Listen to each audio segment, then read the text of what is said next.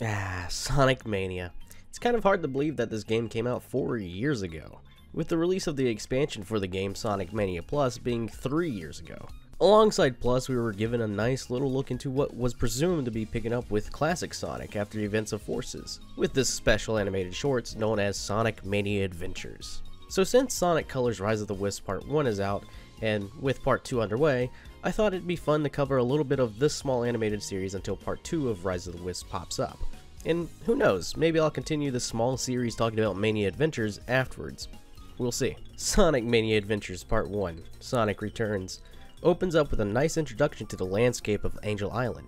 We also see classic Sonic coming back through a portal in the same pose he left his modern counterpart in Forces. Upon arrival, and obviously being confused, he quickly snaps into reality when he sees Eggman flying overhead with a trap flicky.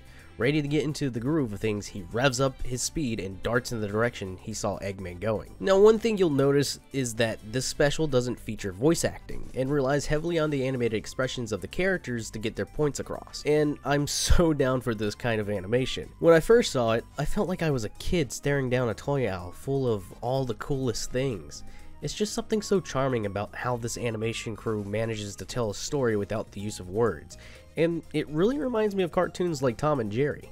Continuing onward, Sonic finds a capsule the Flicky was trapped in, and on his way over, he is greeted by a ton of spike traps. He lands on top of the capsule, and yet again is met with a surprise left by Eggman, revealing it was actually a fake capsule. He gets caught up on a rope trap.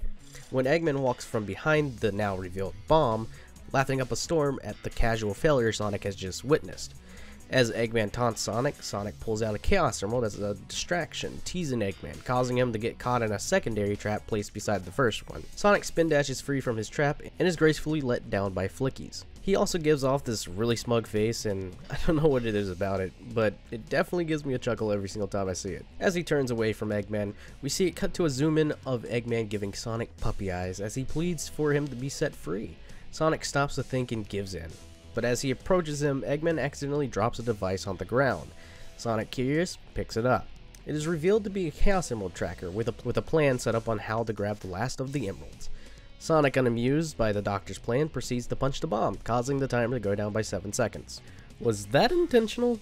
The timer was at 12. There are 7 emeralds. 12 minus 7 is 5. Maybe I'm looking too far into this, but that is pretty funny. Sonic dashes off and Eggman is left behind with the bomb exploding. After the credits, we're greeted with a tease for what's to come later on in the shorts, teasing that Metal Sonic would most certainly be making an appearance. And that was Sonic Mania Adventures Part 1, Sonic Returns. It's a really well animated short to start off the series of many shorts to follow after this, and I just love and crave everything about it. I hope to see more animations like this for Sonic in the future. Let me know what you thought of Sonic Mania Adventures as a whole, or, well, for just this first episode. Did you enjoy the way it was handled? Uh, was there, apart from adventures, that you really liked? Let me know in the comments down below.